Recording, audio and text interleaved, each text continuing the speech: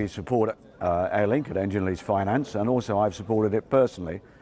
And I think it's a great thing. I think it's brilliant innovation, and it's something that we've heard Tony Tyler talking this morning about the aviation industry being a force for good. Well, this is a great example of that. And as you know, it's pretty personal to me. Of course, my middle son was in Nepal during the time of the earthquake last year.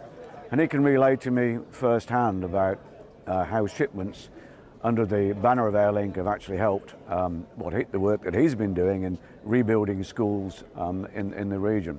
I think particularly we've heard this morning some of the statistics about cargo capacity being going spare, and we know there's a lot of that. Okay, it's a bit of extra fuel and a bit of time loading up, but I think that's a pretty small price for the airlines to, to sacrifice.